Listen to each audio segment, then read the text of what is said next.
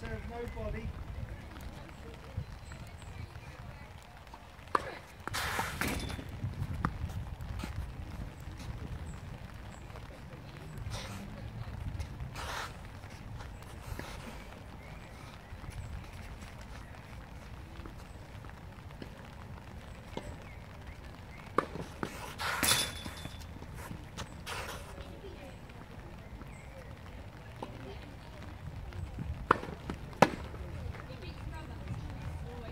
that arm turning.